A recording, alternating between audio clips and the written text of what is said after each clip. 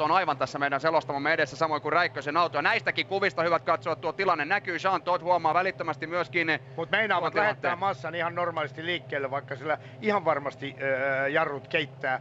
Nyt rupes palaamaan myöskin takalevyt.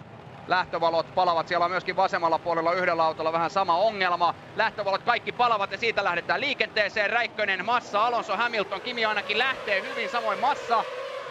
Ja Kimi pystyy tuon paikkansa pitämään ensimmäiseen mutkaan ja sitten katsotaan, pystyykö sieltä McLaren haastamaan toinen McLarenista leveäksi. Se on Alonso nähdäkseni, kun siellä on ei kyllä se on Hamilton, kun on leveänä. Heikki sai myöskin aika hyvän lähdön, pystyy mielestäni siellä nousemaan pykälän pari, jopa kuudenneksi aivan, tässä vaiheessa. Aivan hullu meno McLarenilta, meni rinnakkain Oruusiin.